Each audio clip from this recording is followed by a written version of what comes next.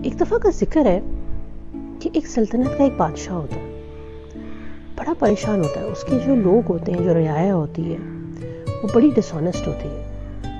हर वक्त बेईमानी और दो नंबरी। वो सोचता है, क्या करूँ? एक दिन बुलाता है सारों को और कहता है कि शहर के फलाने कोने में एक तालाब है। वो सूखा पड़ा है। उस तालाब में आज रात के अंधेरे में तुम सबने जाकर एक कतरा इतर का डालना है। और, वो कहते हैं जी बादशाह सलामत मसले कोई नहीं। जाना जर रात होती है, रात के अंधेरे में सब जाते हैं, वहाँ पे और एक कतरा डालाते हैं। एक शख्स होता है बीच में। जो ये सोचता है कि मैं अगर एक कतरा पानी का डाल देता हूँ बीच में तो क्या फ़र्क पड़ता? है